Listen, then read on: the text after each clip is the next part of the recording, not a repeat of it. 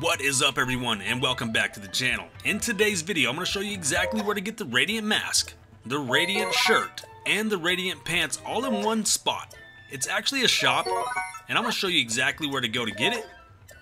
And you can also get the outfit I have on right now. It is for stealth and it will help you guys sneak up on fairies, sneak past enemies, get lizards and frogs, and about anything that you have to be sneaky for, even a horse.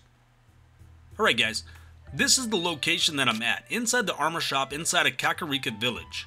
Letting you guys get a good look at the map, and then we're going to go jump into the actual dark area to see if this mask and this shirt and this pants will actually give you an advantage in the dark, maybe like seeing or something like that.